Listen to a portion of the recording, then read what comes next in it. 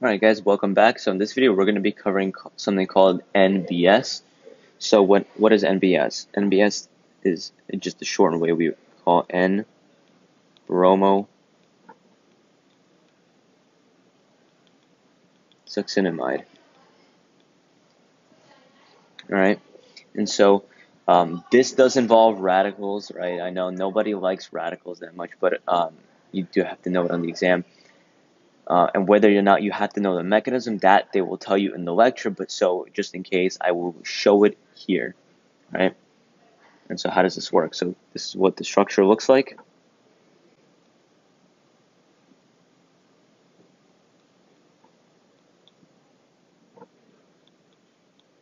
All right, and so this is going to be your um, your uh, N-bromosuccinide succinimide, sorry, and it's going to be NBS. I'm just going to call it NBS from now on. All right, and I'm going to show you the whole mechanism. So this is similar to the kinetic and thermodynamic stuff. Um, so what we're going to do is I want to just start out with this sort of structure. All right, this a very simple structure, something that so, and we'll get to the more complicated stuff later on. All right. So what the first step is in this reaction is this nitrogen and the bromine they split from each other. All right, and since we're using radicals in this case, they generate radicals. So remember, use your radical arrows, the fishhook arrows. All right, and so remember, since there's two electrons in a bond, one goes to the bromine, the other one to the nitrogen. All right, so we're going to create this Br radical.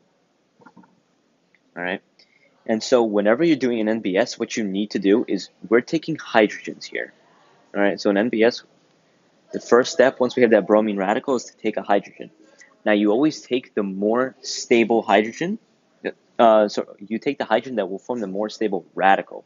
In this case, we want to have it next to the double bond because it can be resonance stabilized, correct? We don't want to pick it the hydrogen over there because then it can't be resonance stabilized with the double bond.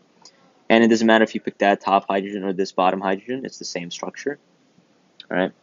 And so let's see what happens. So this is going to form part of a bond, right?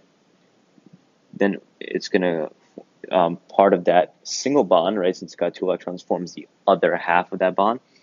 And then that last electron goes onto that carbon. Let me draw that a little better. So what's going to happen is we're going to get a radical now, right there, right? So now we have this radical, right? And yeah, we got um, HBr, right? So what's going to happen is now that HBr, it's going to react with another one of these NBS structures. Here's a nitrogen. All right. So it's going to react with HBr, that HBr we just formed.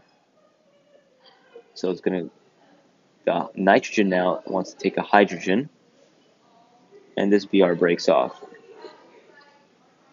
Alright, oh, and sorry, it doesn't break off. So the nitrogen is going to take that hydrogen, they're going to form a single bond. Then this, these two Brs form a bond.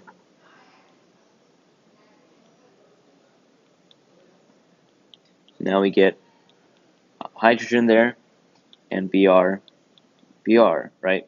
This is just Br2. And so this Br2 is what's going to react with our radical. So we're going to put them up here. So what's going to happen is the radical reacts with this Br, and this one breaks off. This gives us a Br where the radical used to be, and a Br radical separated. Right? So this is what we really want to just care about. Now, when we do NBS, NBS always makes the most stable radical possible, and then we attach the bromine there. All right. Now you have to consider resonance. All right. And so let's see. Let's do an example problem. So we're going to do just uh, predict the major products.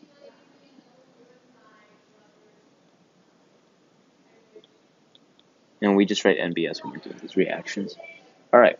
So where is our most stable radical? All right. Remember, we always want to kind of pick it around the carbons of the of the uh, double bond. Never the carbons part of the double bond. Right. remember we, um, that's not going to be um, the one we take the hydrogen because we're going to end up destroying the double bond in the process. Well, actually, we're not, but remember, because there's hydrogens here, if you take that hydrogen, you're going to put the radical on there. This is a vinylic radical, remember, not stable at all. So what's going to happen is we're going to take the hydrogens around it, so that's either this hydrogen or this hydrogen. All right, so I'm going to skip ahead. I'm not going to focus too much on the mechanism. All right, it's just going to take a while. And so I'm going to just put the radicals on.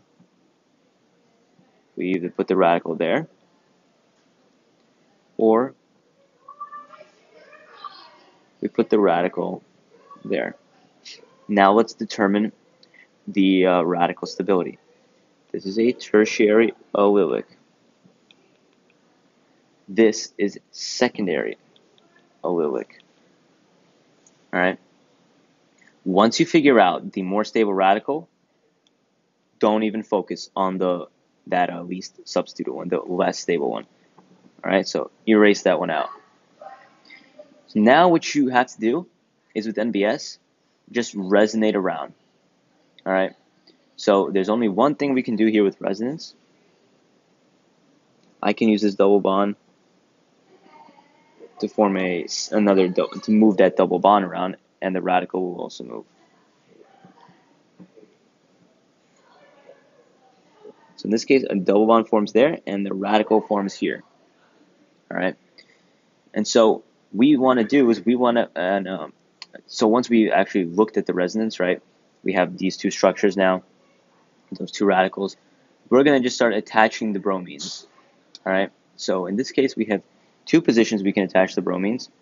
So this isn't like in kinetic and thermodynamic where we kind of focus on like one, cross out maybe the other, right? What we need to do is we need to attach the bromine to all the positions where we got those radicals. All right, so that means when we react it, and again, I'm not going to show the mechanism, put the BR there. This guy, BR there. So we have two products in this case. All right. And uh, so we're going to go with, we pick both of them. All right. So you see, I didn't like make a distinction between thermo and kinetic products. In this case, we don't consider the thermo and kinetic. That's for those dienes. When we do NBS, we just kind of put the radical, move it around, move it around, and make your put your products down. All right. So let's do another example. So we're going to draw this out.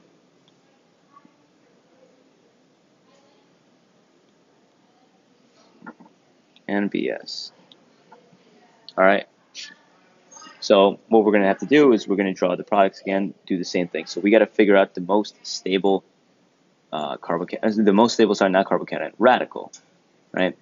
Now, one thing in this problem is they they gave us, and obviously I didn't copy and paste the problem, but I'm still showing you guys what they gave. They gave us one of the products, and they said draw the other one. All right, so let's do let's figure out how they even formed that one. Remember, we always pick the hydrogen kind of that's around the double bond.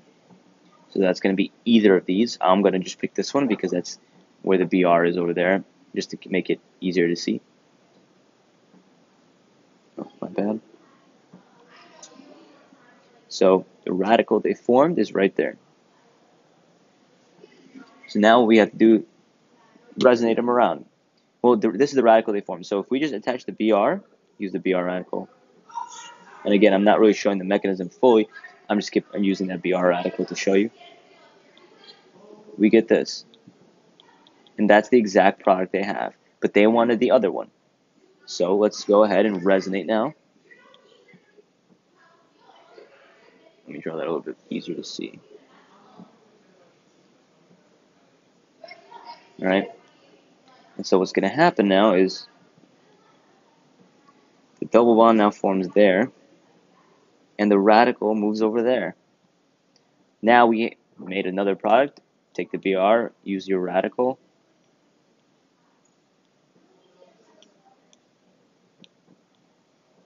And remember, we use, you actually use BR2 in this case but I'm using just the BR radical just because um, uh, because that's the whole point of this BR2. We use we don't attach the BR2 like we did in alkene additions. We actually use the radical version. So this splits up splits up into radical.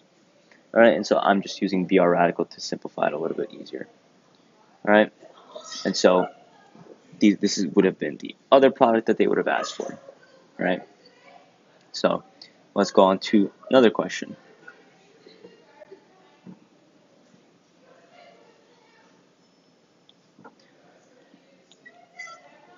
Right, so what are the products? So the major product, and in this case, I'll show you the three products they asked for. It's like one of those A, uh, one only, two only, three only, one and two, one and three, two and three, stuff like that.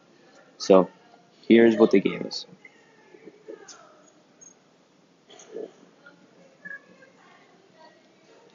We are there, so this is number one. Number two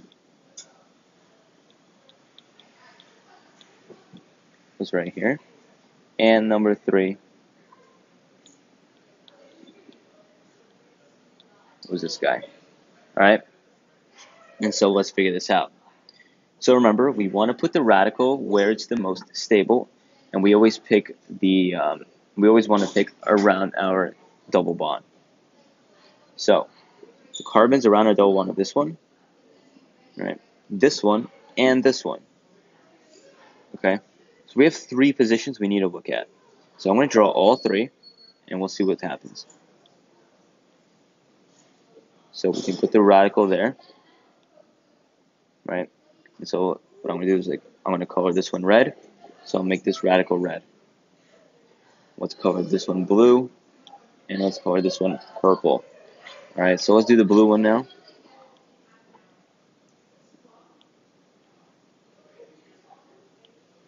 Okay, and so the blue radical is now right there.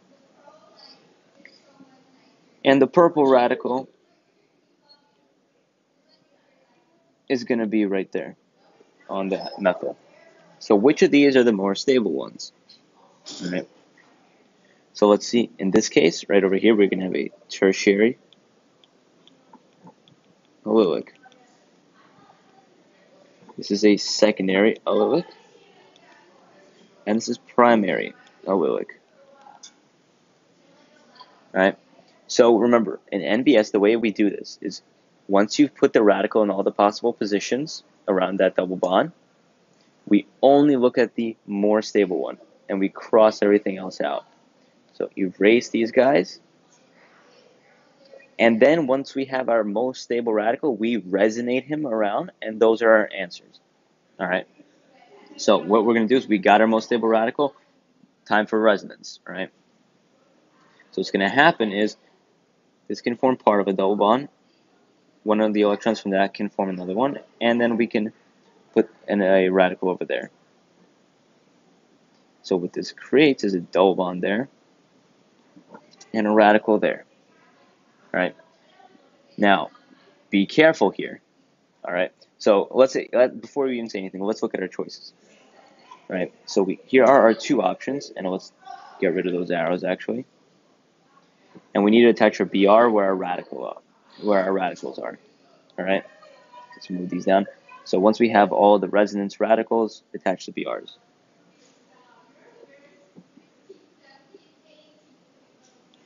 BR, double bond.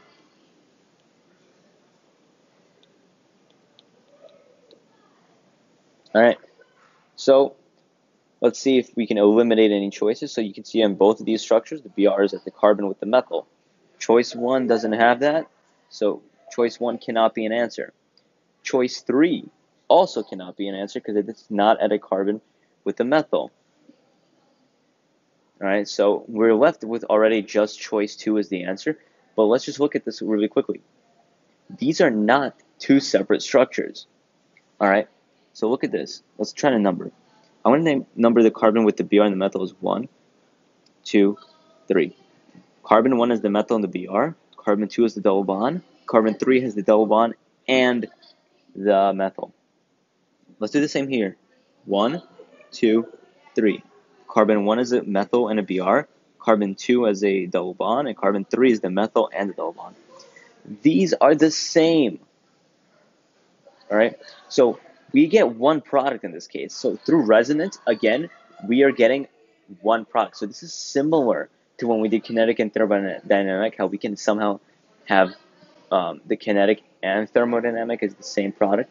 But remember, when doing NBS, step one.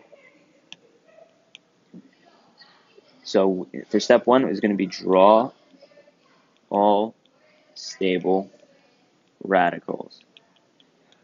So this is usually going to be around that double bond.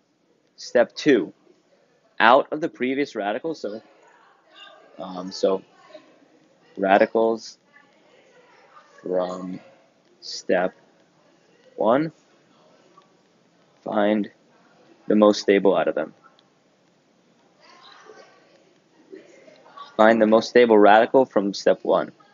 Step three, draw resonance structures from this most stable radical. All right, and then those are going to be your answers. Just watch out, and the question it, it may hint that you have um, one product, or they may just ask find the most stable radical. So remember, you guys should know your radical trends, right? Which is the same as carbocation trends and should be comfortable with resonating radicals. And so also watch out for this, how you see we have the same exact product. All right. So this can definitely, uh, this can definitely come up. I do want to do one more problem before we go.